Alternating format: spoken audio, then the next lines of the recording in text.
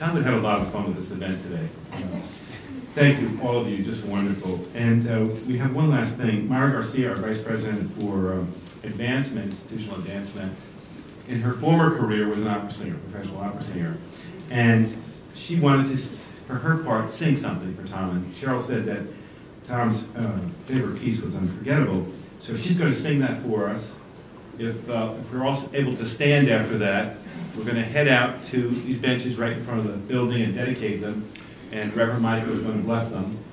And then we're going to head over to the what's called the dining hall, main dining hall, the faculty and staff dining room, and we're going to have lunch there together. So with that, I hand you Myra Garcia.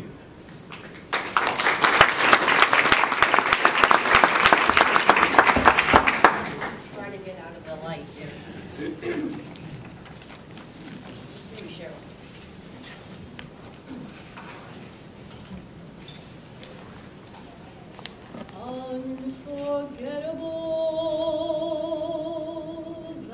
what you are.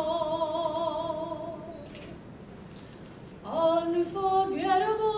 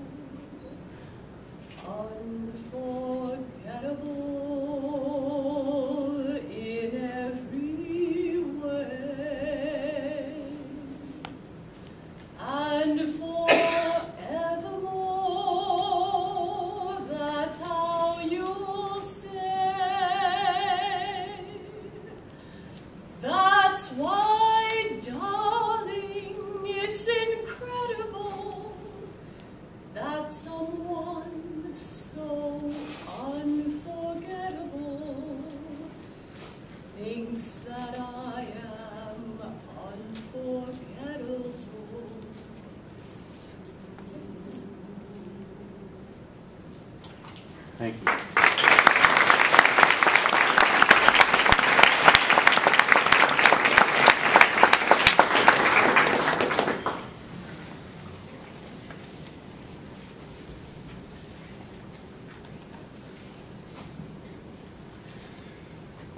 Uh, On a personal note, it is a privilege uh, to be here today to share in this uh, memorial time. Um, It is, however, also on a personal note, uh, one of those moments in the two-plus years that I've been able to be chaplain here at the college that I really miss my predecessor, uh, who is the guy who ought to be here and sharing with you uh, today, Pastor Guttu. Uh, On a pastoral note, as I sit here, uh, I want to thank the family of Tom for allowing us to share this moment with you because you had to relive a lot of things today, and I hope that our exercise in grief is a, an exercise in healing uh, as, as much as a, a journey through Tom's life and the care and respect for him. I would begin by uh, getting ready to go outside by asking the question bench? Uh, bench? Office chair? Boardroom chair? Dining hall window seat? Uh, seat at uh, Joe and Pat's? Uh, bleacher seat? Uh, beach chair? Uh, and perhaps from my perspective, most importantly, pew. Uh, I am certain that I missed more than a few places where he worked and played, uh, but bench? Tom Carroll benched? Think of it. Not in this lifetime have I ever experienced this man benched. Uh, in the little bit that I got to experience him. Not even his illness, not even his illness could bench Tom Carroll. His friends and colleagues today have used words, and I read the book a half dozen times and listened carefully today finest, sharpest, most gracious, wittiest, uh, precise, full of integrity, consummate, disciplined, gifted, unique, adept, constant, devoted, respected. Exceptional, honest, kind, candid, positive, outstanding, focused, intense, frank, awesome, intelligent, great personality, character, Boy Scout, good judgment, and I was counting on all these getting in here today, and they did. And the best smile. That smile, it's on the front of the book, and it's in that picture. Uh, and above all else, above all else, a devoted husband and loving and caring father. And so we feel, and so we feel more keenly the loss of this man. And we come today to offer our thanksgiving. As Richard said at the beginning, this is not a second funeral. At least that rings in my ears from is, is preparing us for today. This is not what this is about. This is a celebration, a time of thanksgiving for his life, his love, his legacy, and the privilege that we've had uh, and now have in sharing it. And we come, we come, we come to bench him. Uh, a term, while not descriptive of Tom's life, I could hope he might enjoy and we might enjoy today as we remember his sense of humor.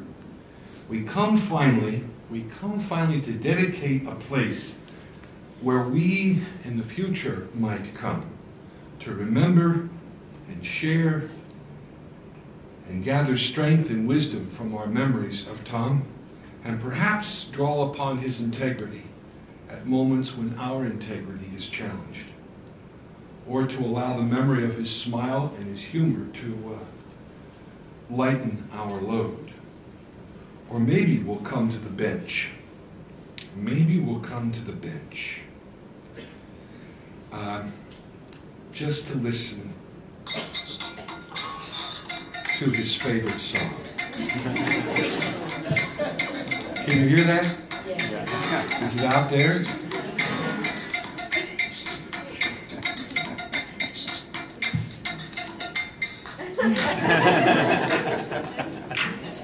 Do you know what song it is? I didn't know. I hadn't a clue. It's called Rapper's Delight. now I'm told that Tom knew the lyrics to this song. Is that right? And I found out last night the song's 14 minutes long.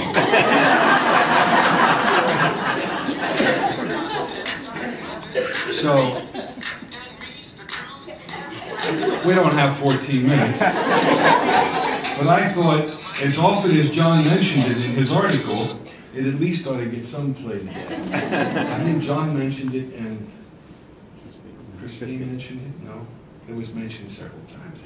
But 14 minutes is, is unbelievable. So let us uh, let us pray and then we'll go to the bench. O God of grace and glory, we remember before you today our brother Tom. We thank you for giving him to us to know and to love as a companion in our pilgrimage on earth. In your boundless compassion, console us who mourn. Give us faith to see that death has been swallowed up in your love of life, a love reflected in Tom's passion and care for your many gifts.